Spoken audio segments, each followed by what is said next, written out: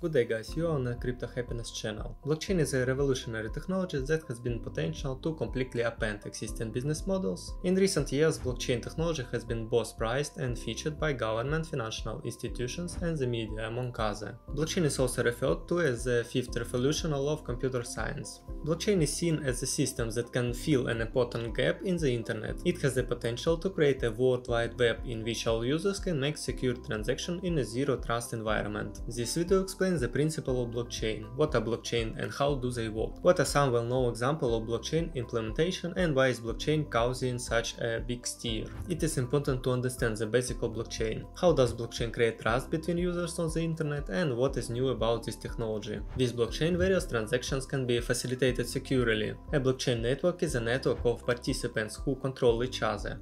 There is no central party or intermediary in this network, which is an innovative aspect of this technology. It is a decentralized database that functions like an online registry. However, there are also blockchains that work a little differently. A blockchain is a continuous, sequential chain of blocks containing information. The blocks with information are shared by a network of separated dependent parties. Transactions are stored on the blockchain without being deleted or altered. A network of computers is decentralized and stores the chain of blocks. Technology is only as complex as we make it out to be. It's pretty simple when you break it down. However, the modern version of blockchain is indeed a technology victory, a victory that will define our future in many ways. It's not just one file stored in a centralized repository that many people use. In fact, there are thousands of copies of that file stored on computers around the world, both on home computers and on corporate servers, hence the term of decentralized. This file can be used to record many things, but below, well, use sending and receiving money as an example because it's uh, most common at the moment.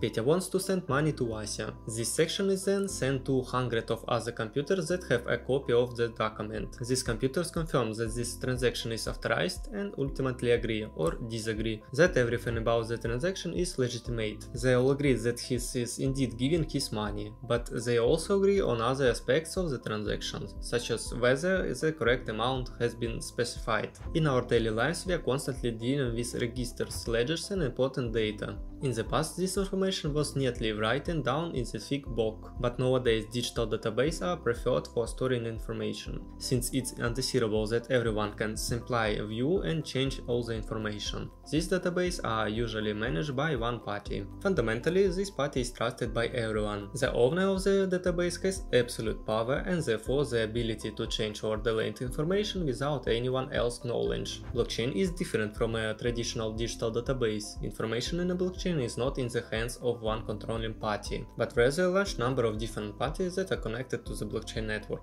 Each party in the network owns their entire ledger, transaction register, but at the same time no one owns it separately because all information belongs to the network, which owns all information in a decentralized and equal manner. Blockchain is managed by many people at the same time. Each party in the network is not connected to a database, but to each other. This is called a peer-to-peer -peer network, a network to peer-to-peer -peer computers. Each each capable of replacing the other. There is no hierarchy in such a network, they are equal. The moment a central database is lost or corrupt, affiliated parties can no longer access to the correct information they need. This can lead to problems and is a risk. In blockchain network each party owns information. When one party disappears, the other continue to exist. More than one party owns the information which is much safer. Executing transaction, changing information and populating a database on a blockchain works a little differently than with the traditional version. In a traditional central database, a transaction is simply added. The moment the database administrator determines that the transaction is legitimate, the database is modified.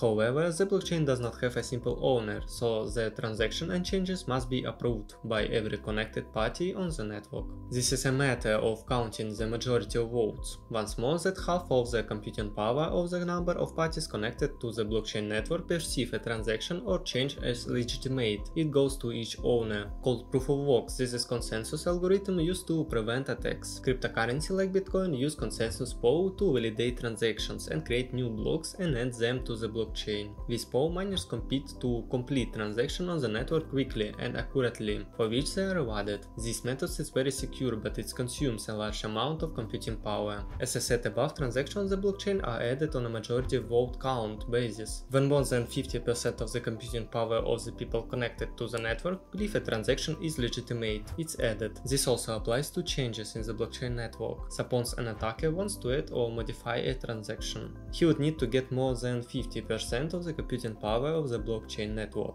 The more people connected to the blockchain network, the more secure the blockchain is considered to be. The literal transaction of the word blockchain is blockchain. A block is a list of completed transactions, the data that is stored. The number of transactions a block can be different for each blockchain.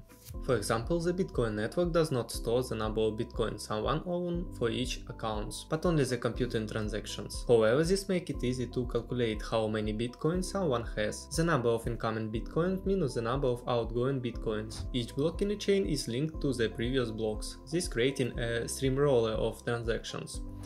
This is a chain or blockchain. Linking the transaction together creates the actual database. Each block is encrypted using a hashing algorithm. Each participant then receives a complete copy of the blockchain. Blockchain technology ensures that transactions cannot be altered or deleted. Fast blockchain technology makes fraud virtually impossible. The blockchain previously described are based on a publicly available system. However, there are two other variants of blockchain, private blockchain and consortium blockchain. The public blockchain is the best known and most widely used Public blockchains are often decentralized and open source, so a public blockchain follows the principle of a distributed ledger. Anyone can participate in the network and everyone has the ability to view this code with which the blockchain is written. Because more people are typically connected to a blockchain than a private or consortium blockchain, public blockchain are often more secure. We mentioned earlier that it would take a person more than 50% of the processing power of a blockchain network to make malicious changes. The more people connected, the height is the legitimate computing power of the blockchain network. For example, an attacker requires much more computing power. An example of public blockchain is a Bitcoin network. Private blockchain. A private blockchain is the exact opposite of a public blockchain. As the name implies, a private blockchain is a closed system. Not everyone can join the network.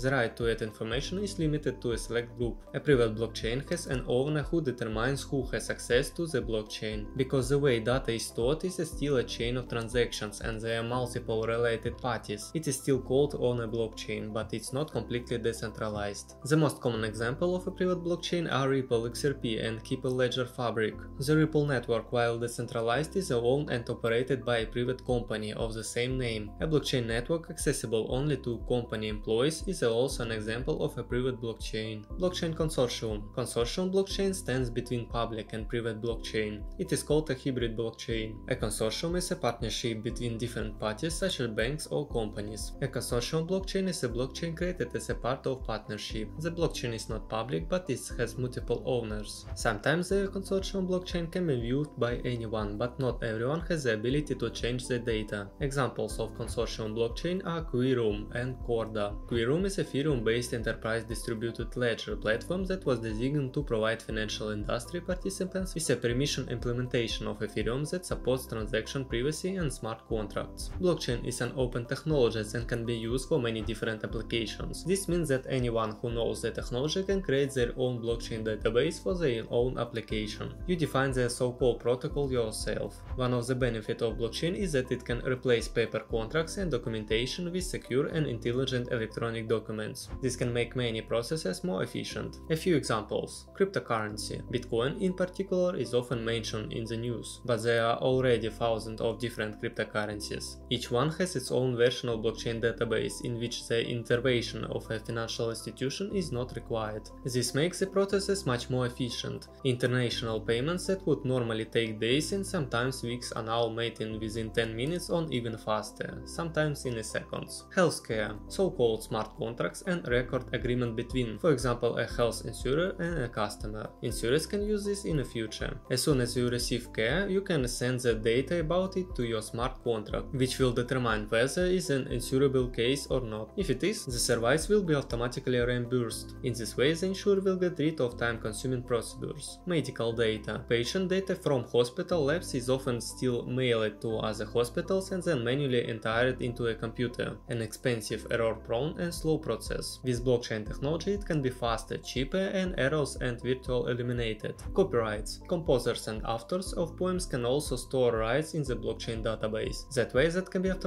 compensated every time someone uses it. A copyright intermediary would then be an accessory. Hopefully you can now understand the blockchain by using our content as a guide to the cryptocurrency world. Thank you for attention, you were on Crypto Happiness channel.